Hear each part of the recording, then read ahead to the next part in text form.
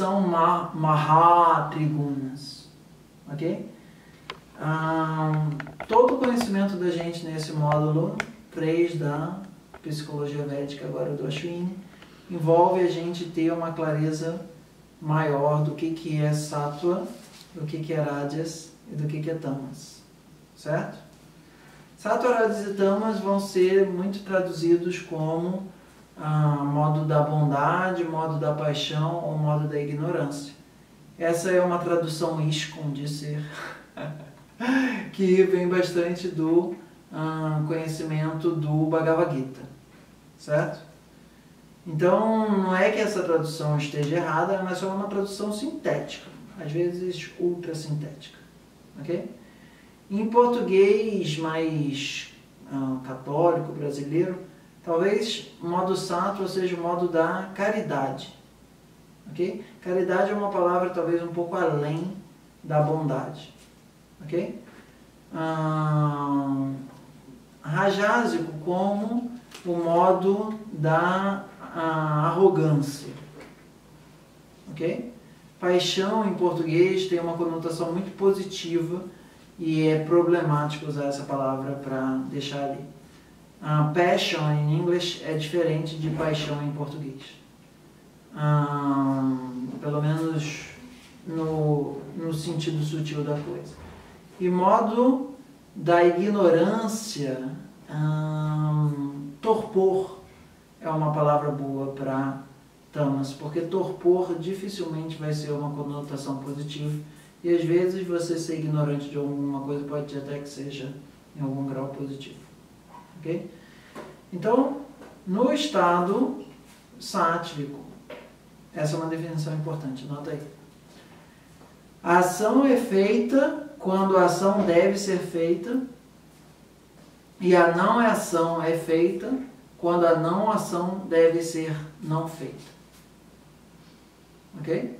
Então, no estado sático, ele é um estado onde a ação e a não ação elas caem como uma luva. Funciona certinho. Vai sem esforço. Ok? Você tem a capacidade de agir enquanto instrumento do divino no momento em que é necessário. E você tem a capacidade de não agir em nome do divino quando o divino está agindo por outras pessoas e outras formas. Certo? Aquela frase que eu tenha a coragem de agir quando é necessário, que eu tenha a paciência, Aceitar. aceitação de agir quando não é para agir, não que eu tenha discernimento para distinguir ah, entre uma coisa e outra. Okay? Esse é um bom lema do Sato. Entender de que tem coisas na vida que não é só você que controla, não é só você que faz. O divino está por detrás de tudo e você se sente parte de um universo onde o divino está ali e você se relaciona com ele. Ok? A gente está falando, pelo menos nesse primeiro instante, a partir da perspectiva psicológica. Depois a gente vai falar da perspectiva ontológica. Do ponto de vista do Rajas, o eu ganha mais importância na frase e eu faço isso, eu mando nisso, eu quero isso. Eu, meu, eu, meu, eu, meu. Então, no modo rajásico, você se considera como o resultador das ações. Ou seja, as ações aconteceram porque eu provoquei elas. Você se torna causa das ação, da ação e não instrumento da ação. Ok? E nesse modo rajásico, independente do que o mundo quer, você pega a natureza pelos cabelos e torna ela sua escrava. Você faz com que o mundo se ajoelhe a seus pés. Você manda no divino, ó oh, divino, se eu não fizer isso, eu vou te dar uma surra, hein? vou te deixar de castigo e tal. Ok?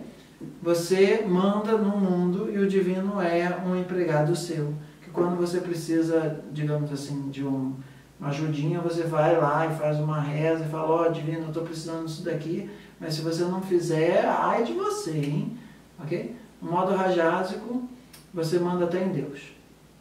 Ok? Se é que você acredita em Deus. Mas você acredita que você é o dono do seu corpo, você acredita que você é dono das suas ações, você acredita que você é dono dos resultados das ações, enquanto no modo sático, você faz a ação de uma forma plena, só que o resultado das ações você reconhece que é do divino. Ah, no estado tamásico, você e o universo são entidades completamente separadas. No estado rajásico, você tenta controlar o universo. No estado tamásico, você quer que o universo exploda. Você quer que o mundo acabe, você quer que o apocalipse sinal chegue logo, porque você está ah, de saco cheio de tédio da existência. Ok? Existe um torpor existencial, existe uma falta de vitalidade generalizada, existe uma falta de crença de que a vida vale a pena, é melhor se explodir como uma homem-bomba para ir para o paraíso logo, ou qualquer coisa que seja. Logo, a vida material ela é completamente sem sentido e o único objetivo aqui não é mais ser o, leão da selva, ah, que é do estado rajásico, é você não ser comido pelo, pelo leão, ou seja, é uma sobrevivência crua, bestial, do tipo, alguém vai me matar, eu preciso matar antes que me matem, é uma questão de luta pela sobrevivência. Ok? No estado rajásico é uma luta pela proeminência. No estado sático é um estado de busca da serviência. Se é serviência em português vai ser uma palavra ah, já no dicionário, mas se não tiver no, no dicionário na machística ela está autorizada. Então, do ponto de vista psicológico, atenção, de um ponto de vista psicológico, as marra-trigunas, elas são hierárquicas. O estado sádico é melhor que o rajásico, o estado rajásico é melhor que o tamásico. Ponto. Vamos às trigunas do ponto de vista ontológico, físico. Do ponto de vista ontológico, pode, pode perguntar. Perguntei? Não, busca não. No Rádias é. Repete a pergunta. Ah, no estado tamásico, é uma luta pela sobrevivência. Isso, sobrevivência no tamásico. No rajásico é uma luta pela proeminência. Os dois têm luta. Os dois são doxas. Ok? No terceiro, no sático, é uma busca. Já sai de um aspecto de antagonismo. Uma busca por estar a serviço. Ok? Ficou claro? Sim?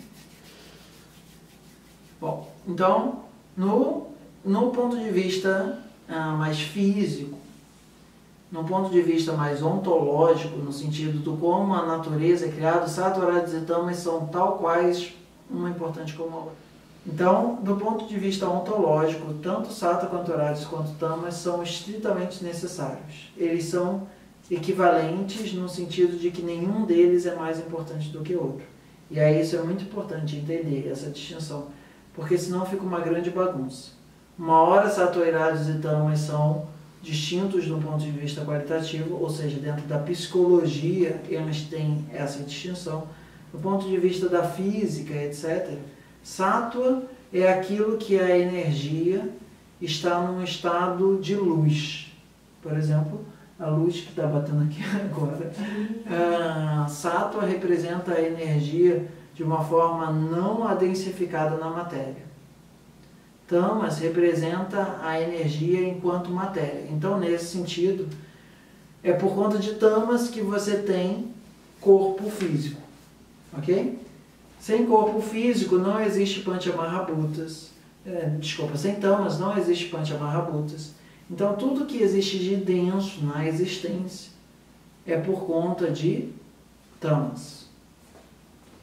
Aí vai ter algumas, que, algumas questões, depois a gente vai ver isso com mais detalhes, mas tem gente que diz que Rádias é um dínamo que transforma consciência em matéria e matéria em consciência, ok?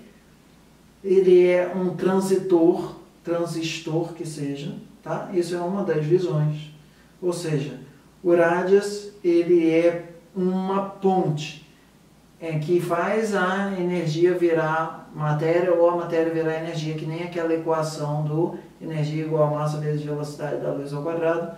O igual ali, entre aspas, seria uma setinha para cada, um, cada um dos lados, e essa setinha para cada um dos lados, isso seria uma, um dos entendimentos de Rádias. Ok? Outro entendimento de Irádias é que Irádias é tudo aquilo que faz com que haja na natureza ação e movimento. Uma outra visão é que tamas é resistência e rádias é agitação. Ok? Então, uma das ah, ideias que é muito importante do estado rajásico é que existe um excesso de ação e o estado tamásico existe um excesso de inação. Então, nesse sentido, tudo que é movimento na natureza, por exemplo, os planetas giram porque existe rádios. Ok? É, a Orades tende a ter um conceito mais de energia cinética. O, o Tamas existe uma noção mais de energia potencial e o Sattva como a inteligência que governa essas duas energias. Certo? Então elas são visões diferentes. Uma põe Tamas de um lado, Sattva do outro e Urajas no meio, e o outro põe Tamas de um lado, Urajas do outro e, entre aspas, o Sattva como governador. O que vai ficar parecido com a noção de que ah, é, vai ter a noção de que o Vata governa o Pita e o Kapha ok? Então, dependendo da forma, isso é uma frase que a gente viu com o Vassantladi que era bem interessante, ele falava, olha, é a mesma janela, mas dependendo do ângulo que você olha, a informação ela fica diferente, ok? Mas, do ponto de vista mais do sânscrito, o sattva é aquilo que tem permanência, aquilo que sempre é. Sat é verdade. Sat é aquilo que mantém o sistema como algo ah, que sempre que você precisar acessar aquela qualidade, ele vai estar lá. Rádias é aquilo que dá cor. Rádias é aquilo que faz com que algo fique agitado, que tenha desejo. Ok? Ranjate.